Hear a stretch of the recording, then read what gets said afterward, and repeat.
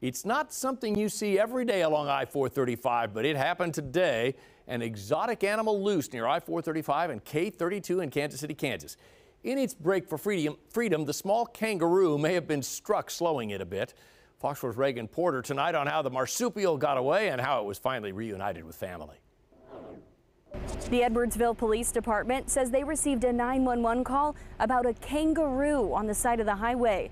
When they showed up, Officers tell me they were surprised to find exactly that. I never would have thought I'd we'd catch a kangaroo here. This is Star, a baby kangaroo. Eric Smith says she belongs to his nephew. Smith runs Thorny Ridge Exotic Mobile Petting Zoo. Wednesday night, they were at the KCK Public Library. Although Star wasn't part of the show, she came along for the ride. On the way home, Smith says Star made a break for it. He pulled over on the side of the road to, to latch the tailgate and I guess whenever he got out to latch the tailgate, uh, he, she was hanging on the other side, and at that point, she had to have jumped out a window. Edwardsville police found Star near 435 and K32. Smith says kangaroos can run up to 35 miles per hour. The officers tried to catch it with their hands. I'm sure it was humorous. Um, it was still quick, even though it was injured, so it managed to jump away from them.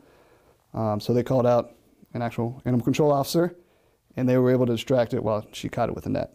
Animal Control with Bonner Springs believes she crossed three lanes of traffic and may have been hit by a car. There's a little scrape on this side, and then she has a scrape on her eye, and then a little, she has another scrape on her other eye.